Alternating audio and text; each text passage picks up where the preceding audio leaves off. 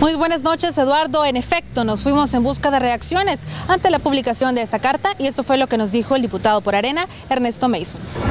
Debe ser atendida y analizada con muchísima seriedad por nuestro país y por nuestras autoridades. Eh, Estados Unidos no solo es eh, nuestro principal socio comercial, sino también es un país que alberga a casi 3 millones de salvadoreños y uno del principal cooperante eh, que tiene El Salvador. Y, esto, este tipo de situaciones eh, pudiera poner en riesgo la relación de cooperación que existe del gobierno de los Estados Unidos con El Salvador y pudiera poner incluso en riesgo la eh, condición de los salvadoreños en Estados Unidos, las renovaciones del TPS y cosas por el estilo.